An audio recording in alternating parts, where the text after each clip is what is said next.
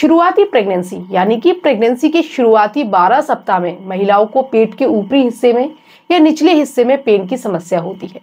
और ये दो तरह की प्रॉब्लम्स को बताता है। एक तो वो, जो कि कॉमन है, और प्रेगनेंसी में लगभग सभी को होती है।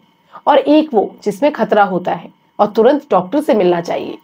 लेकिन ज़्यादातर महिलाओं को पता ही नहीं होता है कि कौन से पेन को नजरअंदाज करना है, और कौन से पेन के लिए तुरंत डॉक्टर से मिलना चाहिए। और इस वजह से उनको बहुत सारी प्रॉब्लमों का सामना करना पड़ता है। तो आज की इस वीडियो में मैं प्रीति यादव इसी के बारे में बात करूँगी और आप सभी को बताऊँगी कि प्रेगनेंसी में पेन क्यों होता है, कौन सा पेन नॉर्मल है और कौन सा पेन खतरे का संकेत, ताकि आप समय रहते सही कदम उठा सके।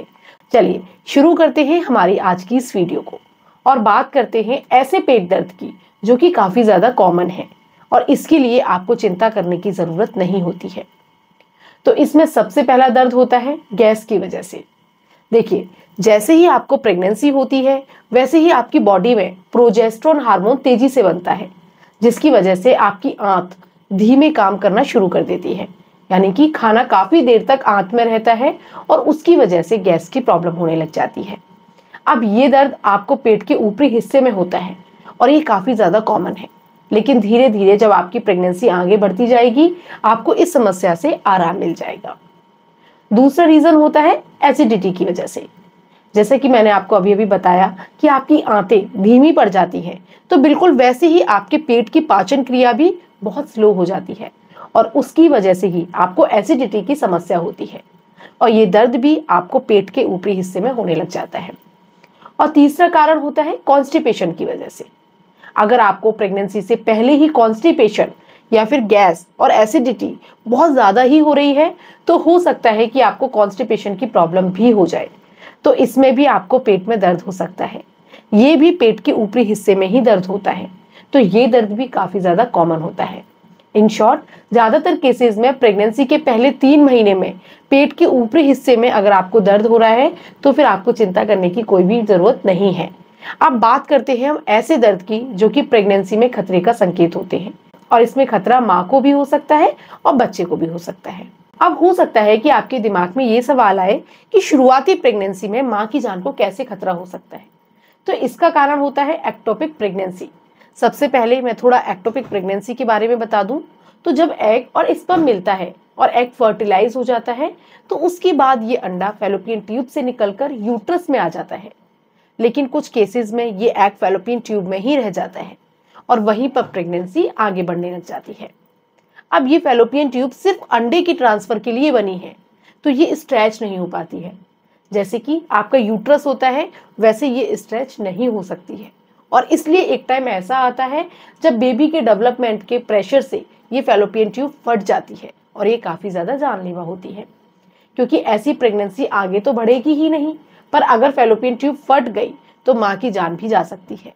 इस टाइप की प्रेगनेंसी का पता प्रेगनेंसी के छठवें से आठवें सप्ताह के बीच में चलता है। अब ये छठवा और आठवां सप्ताह कैसे कैलकुलेट होता है? तो ये आपकी लास्ट पीरियड डेट मतलब कि जिस दिन आपको आखिरी बार पीरियड स्टार्ट हुआ था, उस दिन से कैलकुलेट होता है। और इसी तरह से प्रेगनेंसी के सप्ताह कैलकुलेट होते हैं। तो एक्टोपिक प्रेगनेंसी का पता प्रेगनेंसी के छठवें से लेकर आठवें सप्ताह में चल जाता है। अब इसका दर्द आपको पेट के निचले हिस्से में किसी एक तरफ़ होगा, क्योंकि महिला के शरीर में दो फेलोपियन ट्यूब ज़रूर होती हैं, पर एक महीने में सिर्फ़ एक ही फेलोपियन ट्यूब काम करती है। तो एग भी इन दोनों में से किसी एक ट्यूब में ही होगा और प्रेगनेंसी भी किसी एक ही ट्यूब में हुई होगी, चाहे वो राइट में हुई हो या फिर लेफ़्ट में हुई हो। तो आपको अगर प्रेगनेंसी के छठवें से आठवें सप्ताह के बीच में लेफ़्ट या फिर राइट साइड पेट के निचले हिस्से में पेन हो साथ ही साथ आपको कंधे और गर्दन में दर्द हो, आपको बार बार पोटी जाने की इच्छा हो तो एक बार डॉक्टर को ज़रूर दिखाएँ, क्योंकि ये एक्टोपिक प्रेगनेंसी के लक्षण होते हैं। अगर ये लक्षण दिखाई देंगे तो डॉक्टर चेक करेंगे कि आपको एक्टोपिक प्रेगनेंसी है या नहीं, और अगर आपको एक्टोपिक प्रेगनेंसी होगी तो फिर उसको खत्म कर दिया जाएगा। अब कई बार महिलाएँ ये पूछती हैं कि कोई तरीका नहीं है कि प्रेगनेंसी को फेलोपियन ट्यूब से निकालकर यूट्रस में ग्रो करवाया जाए। तो देखिए, अभी तक ऐसी कोई भी टेक्नोलॉजी नहीं है जो कि एक्टोपिक प्रेगनेंसी को मूव करके यूट्रस में शिफ्ट कर सके। तो इसलिए इस प्रेगनेंसी को खत्म ही करना पड़ता है।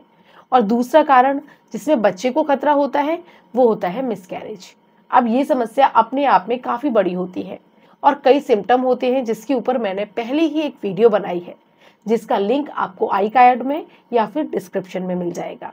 और मैं वीडियो के एंड में भी उस वीडियो को ज़रूर डाल दूँगी तो आप एक बार उस वीडियो को ज़रूर देख लें।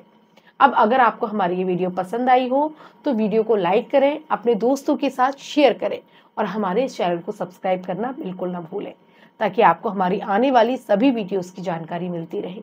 चलिए, अब मैं आपसे विदा लेती हूँ। मिलूँगी आपसे अगले वीडियो में। तब तक के लिए खुश रहिए। स्वस्थ रहिए।